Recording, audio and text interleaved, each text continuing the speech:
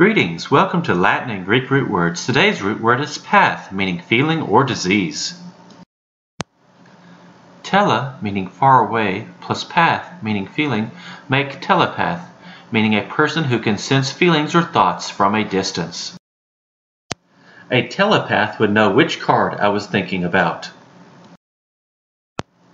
Em, meaning to cause to be, plus path, meaning feeling, plus E, meaning characterized by or inclined to, make empathy, meaning to cause to feel what another feels. Because the woman had empathy, she cried after hearing the very sad story. Syn or sym, meaning with or together, plus path, meaning feeling or disease, plus E, meaning characterized by or inclined to, make sympathy, meaning to feel with another person. Sympathy is when you understand how someone else feels. Sympathy is when you understand why someone is mad, while empathy is when you get mad as well. A, meaning not or without, plus path, meaning feeling or disease, plus E, meaning characterized by or inclined to, make apathy, meaning without feeling. I thought this student showed apathy when he didn't seem to care if he passed or failed the test.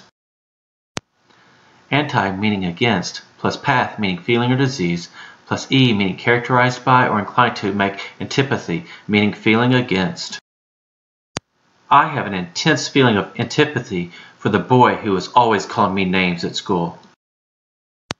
Path meaning feeling or disease, plus ology meaning study of, make pathology, meaning the study of disease. I had to study pathology before I became a doctor.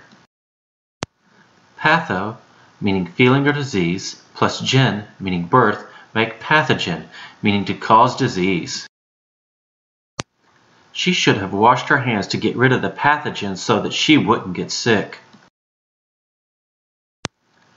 Not so fun fact. A forensic pathologist performs autopsies to determine the cause of death.